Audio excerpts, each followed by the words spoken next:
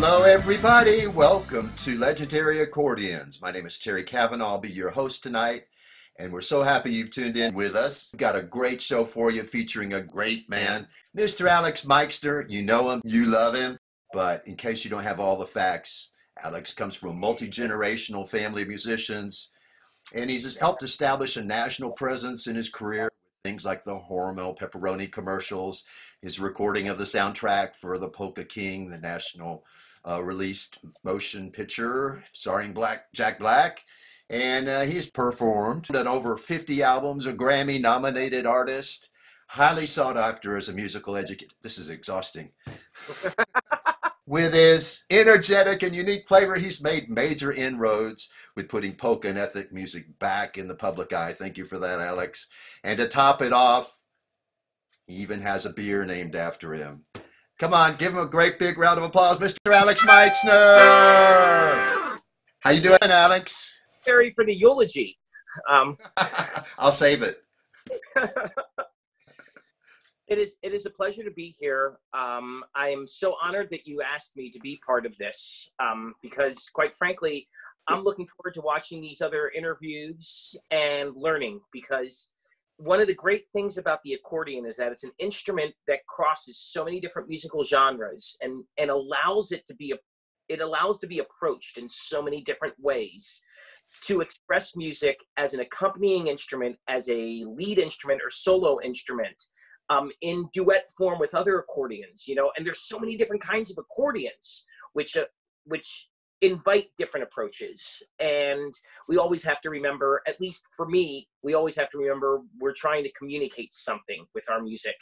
And whether that's as a beginning student or as a seasoned professional, um, it is an it's an instrument that allows us to express and receive so much, and it's a constant learning journey for all of us. Well put. Well put. I like that. I feel better about what I'm doing now. well, you are doing a great service here. Um, from from Carl Finch. I mean, just to to talk quick quickly about some of the other artists. Um, Carl Finch, who's a self-avowed non-accordionist who plays the accord, who's most associated with the accordion for over 40 years. Um, his approach to the instrument is just so much, so radically different from somebody like Ted Lang, who has grown up immersed in playing the instrument in bands where he's had to be the nucleus as the bass player in the band, much like you or I do with our groups, to Danny Jarabic, who has crossed so many different genres. And, you know, I, I just look at all of this stuff and go, it's just awesome that we all play the same instrument, you know, and, and it's this funky instrument that – you know is made fun of by by some portions of the populations. It's beloved by others and it's the center of a party for others you know i mean so you know trying to maintain the appropriate seriousness the appropriate humor and the um, the appropriate just plain joy is is what i'm always trying to do as a musician as an educator and as a consumer of music. Very nice. Hey, um, we're going to do some more interview. You've got that squeeze box on right now. Why don't you play us a song? I'm going to play something that is a little atypical of what I'm cons- of of how I'm known as an accordionist. Because most of the time I'm known for playing fast, crazy, loud polkas and faster and louder and crazier. But one of the things is that on any musical instrument. You know, if you're doing a lot of um, on the trumpet, if I play a lot of loud and high playing, I have to practice a lot of soft and low playing.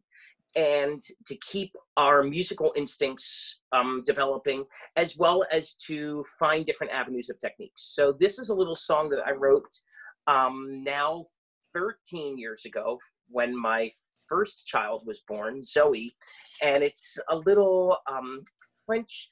Uh, my my my drummer Clanic says that it's the Franco-Italian waltz. You know, it's got a little French and Italian kind of lilt to it, um, and it's just called the Zoe Lynn waltz.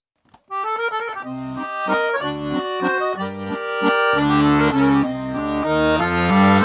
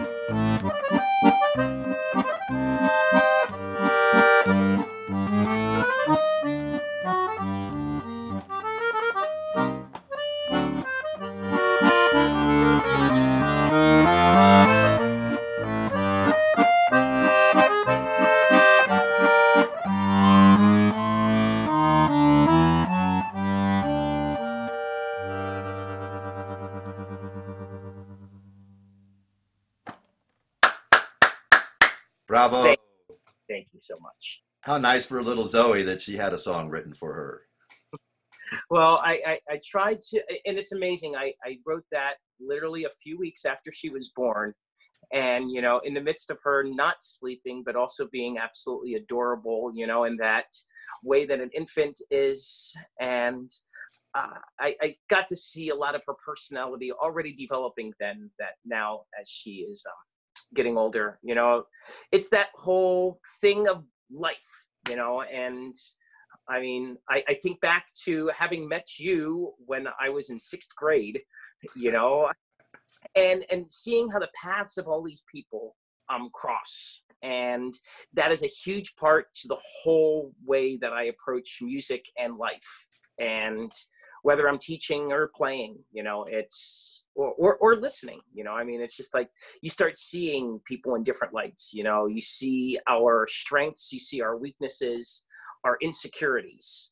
And you know it's an important thing that it doesn't matter how fancy your accordion is or how trashed it is in some some ways or or what time slot you have with your band at this at this thing you know i mean there's just so many different ways that we have to connect and and and see each other and that's that's what I, I'm, I'm trying to do always Nice. Well, that kind of segues into one of my main questions. I was just going to ask you, what do you find fulfilling about the business of music? Do you know um, if we have to sit there and go oh how many times we have to play this certain i mean like you can, i i can point to it and say that my father used to come home from working as the strolling accordionist at disney and say i played edelweiss seven times today and i don't care how beautiful the song it is when you have to play the same song over and over again it's very easy to lose that love and joy. But for me, what allows me to keep that is that communication that comes from an audience and from the other musicians I work with, um, the variety of musicians I work with, whether it's in my band and the changing personnel there, or when we go to a festival and get to meet the different musicians and see how they change it up. Um, but the audiences it is just i it's a cliche but in this time when we are being deprived of having that interaction you know um i look forward to somebody to that request for the chicken dance. You know, as as much as I might have played that song maybe 2,000 more times than I needed to for my artistic fulfillment, seeing the joy and the camaraderie of how a song can bring together people from different generations and different um, societal places, different cultures, you know, and that's that's what I think, particularly the accordion is so awesome with because you see it in so many different cultures and in a bass line, it just brings that thing to it. Yeah. What a great mission you have. And I know what you think. It couldn't come at a better time. We can use that, those kind of results. Yeah. And, you know, when you speak of the business of music, you know, uh, as it as it pertains to the accordion and that kind of stuff, you know, obviously when you look at this time, these are some very challenging times. I, I haven't played a gig, uh, a live gig in over two months. And it's more than likely going to be at least another two months until that happens. Um, and definitely quite a bit longer for the larger kind of things. Um, but at the same point, we are being allowed and encouraged and need to do more creative projects like this and that is a very valuable part of the communication of music. Um, at this time, we don't have sports that are competing with people's um, entertainment time, money, value, all that kind of stuff. Music retains a higher thing. So I encourage all of us to be out there making YouTube videos, sharing stuff. You know, I mean, like when I see the creative stuff um, that so many people are doing in music right now. It, it really is inspiring to me. Good. That's right. Got to find the gold, right? Make the most of it. Better believe it. Hey, tell us about the early years. What was that like? As a- ah, uh, the early years. I started playing the accordion officially at the age of four. I started at the piano at age three and a half The myth is you came out of the womb playing the accordion. well, not quite that. It was more drums at that point, as evidenced by the coffee table at my mom's house that still has the marks on it from from when I was beating on the drum stuff and the old piano and that stuff. My mom wanted my mom was actually my first teacher and she uh, was very bent on making sure that I was able to read music and that um, she started me at the piano, but I was itching for the accordion as fast as I could because I wanted to be cool like my dad, you know. and so I got my 12 bass accordion um, at four. Um, mom gave me my basic lessons, and I would revolt against the Palmer Hughes method in so many ways because I wanted to play by ear. And um, so then I would go hide in the bathroom with the. Once I outgrew the 12 bass, I got a child size Scandalli 120 bass. I'd go into the bathroom because the acoustics were really good, mm-hmm. and she would tell me I had to learn how to play a scale, and I would try to prove her wrong by learning a song by ear, and then later found out that if I had just learned some scales and chords, that would have come a lot easier. But you know, um, a little bit of um, uh, stubbornness has been part of my genes, you know, and I went about that whole accordion route. Um, my mom still would not, I really wanted to play a button accordion, but she would not allow me to get a button accordion until it was proven that I could really read music. Um, when I was in the fourth grade, I took up the trumpet like my grandfather and played that in the school band. And was also playing drums and all of that stuff. Then my dad got a job at Walt Disney World's Epcot Center um, upon somebody else leaving that place. Um, he, he, he went there and, um, and um, when he left, when he left to go to Florida, because he came down two months before the rest of the family did, um, I got my first button accordion. And so I was teaching myself how to do that and going in and out and trying to get the different notes to work and that kind of bit. And you know, once once the family moved to Orlando, that's when things started getting a lot more serious for me.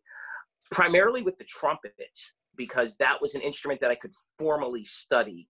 And Disney had so many great musicians there. I, I started taking lessons with Marty Gross, as you know, but Bill Boyd and Mike Payton on both the jazz and classical things, and being able to go and hang with the guys in the mariachi and that kind of stuff opened up my ears to a lot of different kinds of music. And I really shied away from taking the accordion seriously because um, I couldn't go to college for the accordion. Mm-hmm. I mean, there were very limited options for that. I was influenced highly by two accordion lessons I had with Don Lipovac from Kansas City, a national accordion champion, who gave me all the Hanon and Czerny etudes and all of that stuff and encouraged me in that way. And then I would listen to Joey Miskulin playing in every musical genre known to mankind and be like, whoa, that's so awesome. Yeah.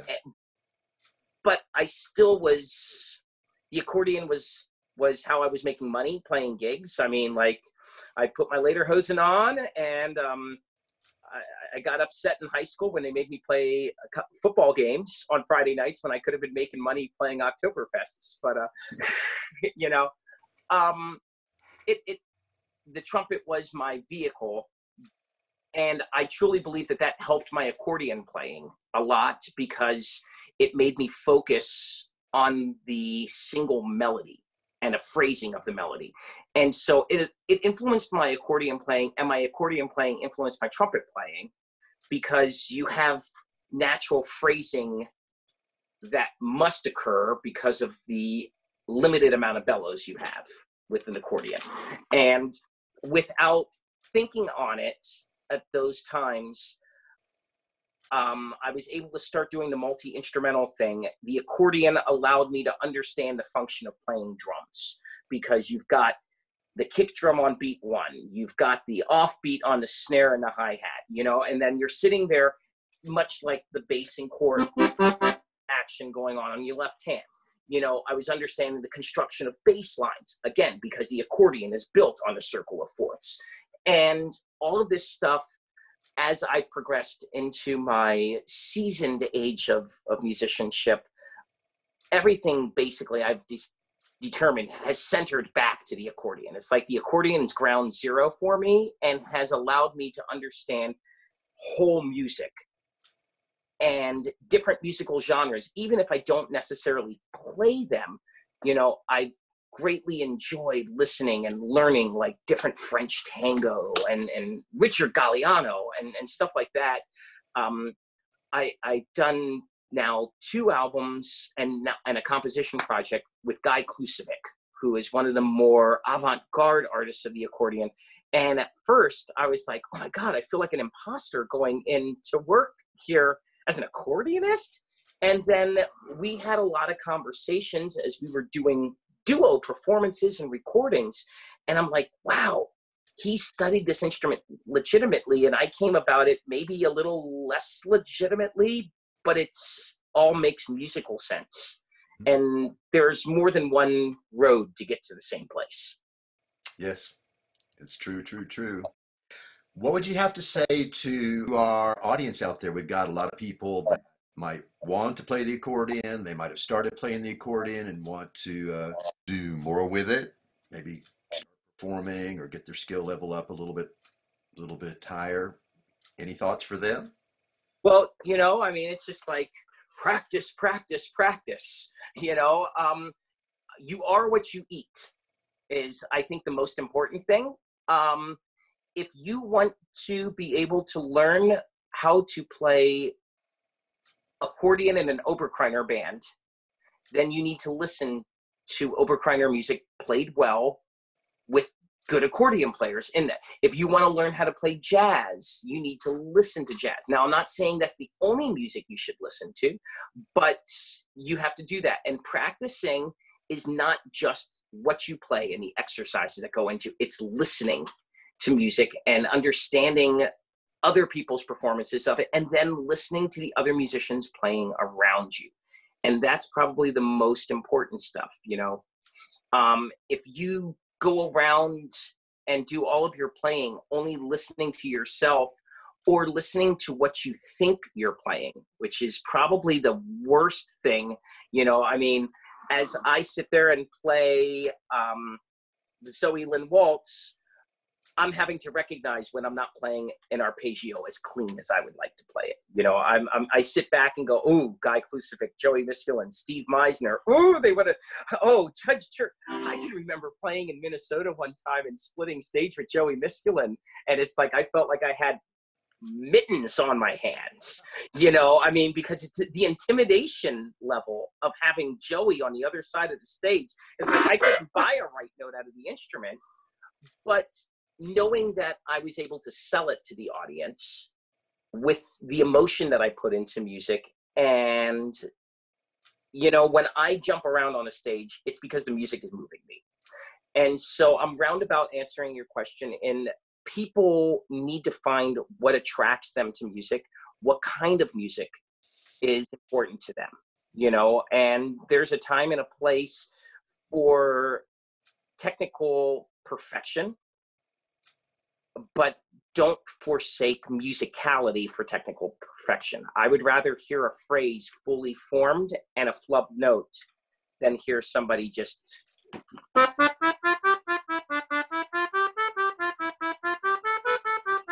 You know, I mean, if you're going to play when you're practicing your hand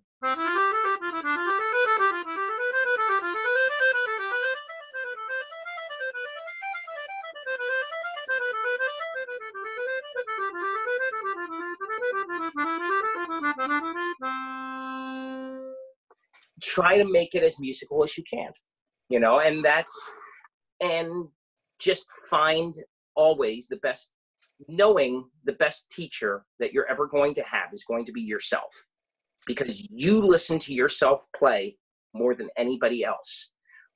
But find the person who can open up your inner dialogue the best you know that's going to help speak to you on how you can get technique under in control and how you can emote and how you can find your inner person. Because i believe music is whenever we're performing music it is just one part of a person's communication you know? Nice. Yeah. I'm going to look forward to hearing that again. How about another song? Okay well i'm going to pick up the button accordion here right now. Okay. And um so this is something that's good to move around because this is a diatonic button accordion. Um, a Steirische Ziehharmonika, an accordion that comes from Styria traditionally in Austria. Um, a diatonic heligon being that it plays diatonically in four keys G, C, F, and B flat, of which almost all the notes, except for a pivot note in the second, third, and fourth row, are different going in and out. So you get this. And on the left hand, we have the Heligon reeds. Heligon is the ancestral name of a tuba.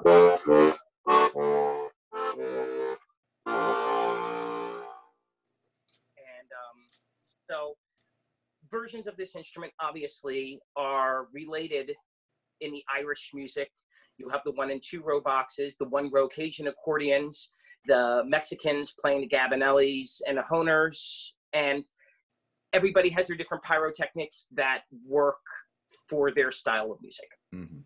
And so I'd like to take a little thing that's probably one of my um, my main showpieces on the button accordion. And this is a little adaptation of Aaron Copland's Hoedown from Rodeo. And as I like to say, the first time I encountered this piece of music, I was a junior in high school. And I did a two week performance study with the London Symphony Orchestra. I was one of two trumpet players picked in the Southeast uh, to play in a brass quintet and spent two weeks at Stetson University in DeLand, um, being coached by the London Symphony Brass Section and going to concerts and watching Michael Tilson Thomas conduct the LSO. And it, I mean, amazing stuff. And John Georgiadis was the senior, was like the emeritus conductor, um, and did a concert as a member of the London Symphony Orchestra. It was, it was pretty awesome. I mean, you don't, if we, depending on what your musical preferences are um, or your prejudices, you know, you get a you get one feeling of what a symphony is if you have just seen pictures and videos you get another sense of what a symphony orchestra can do when you sit in an audience and, and hear like a mahler symphony um, and then you get another feeling when you are on stage and we did hoedown from rodeo by aaron copland and I mean, it's rock and roll up there. I mean, you got this full brass section, you got the percussion, the strings just going all at it. But then I went and was like, dude, this is a hoedown, and we're in a symphony orchestra, and that doesn't feel like much of a hoedown. So I'm going to play it on the button accordion for a polka band. So this is my little rendition of hoedown.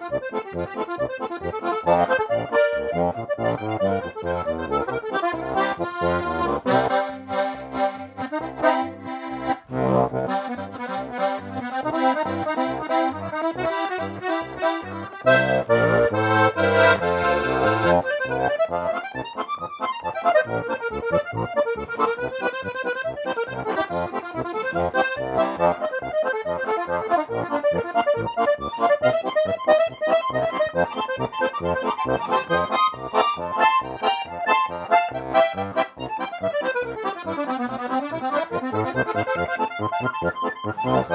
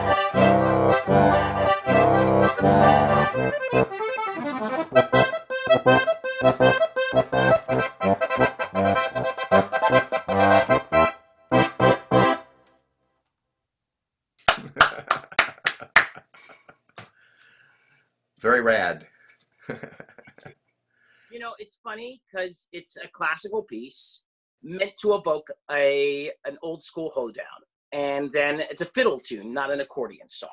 And you have improvisational elements you know as i've developed my arrangement of this song for years you know it's just like oh well i have these other Im- influences or i've had a fiddle player that came into my band. He's like okay let's open up a little bit of a solo section in there. I'm like oh okay and it's like oh i can find certain things that really fly well on the accordion.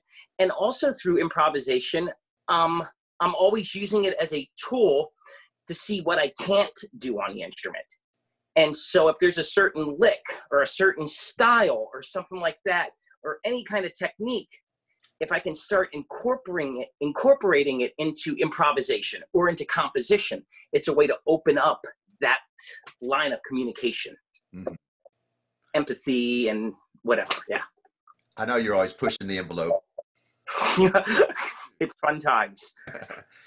hey, help everybody know what's coming up. What are you working on? Projects? So right right now, obviously, the gig schedule is that we don't know, you know? Um, so that has been allowing me to do a lot of recording. I've been doing some stuff where I'm collaborating with artists from around the world. Um, I started a little project where I um, I started writing a song, and then Denis Novato, who is an excellent, probably the greatest but living diatonic button accordion player in the Alpine style, he wrote the second section to the song, and then wow. we're going to get another artist from Slovenia to write the third section to the song, then we're recording it, and then musicians from around the world are going to add the playing with it.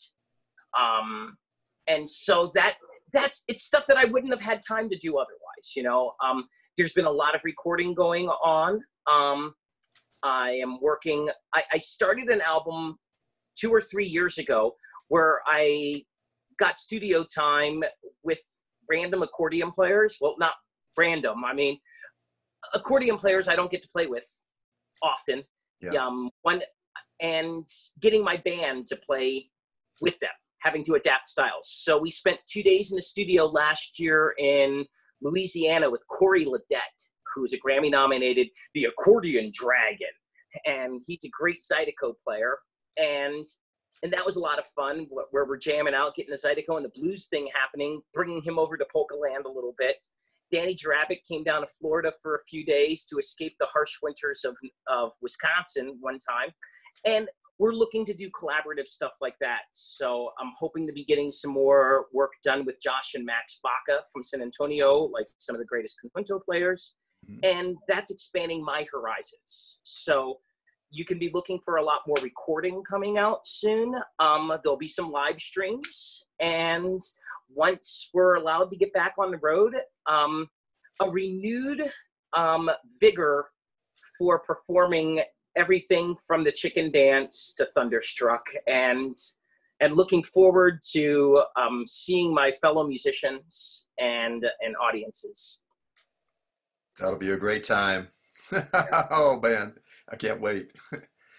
How can people find you and stay in touch they can find me, of course, at alexmeixner.com, A L E X M is in Mary, E I X N is in Nancy, E R.com. Um, I'm on Facebook, Instagram, Twitter, um, YouTube, all that kind of stuff.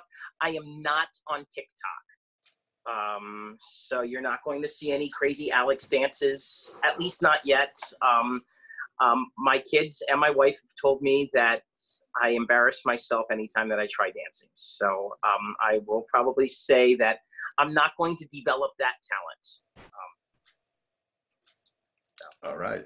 I won't. I won't be putting any pressure on you then, like you put pressure on me. nah. All right, Alex. This has been great. Thank you for taking time out of, of your family life and all the projects you've got going on and the teaching now. Appreciate your being here with us. Want to thank the audience too for coming into Legendary Accordion Festival. We've got great content all of this week, Monday through Friday. Come back and check us out. And do me a favor, ask a hundred of your best friends to show up too. We'd really appreciate your support and having you in the audience. Thank you so much. Remember, be well and keep on squeezing. Thanks, Alex. Thank you so much, Terry times are tough, one that we all agree. Look to the sky, dark clouds all the sea. Bad news all around me, not sure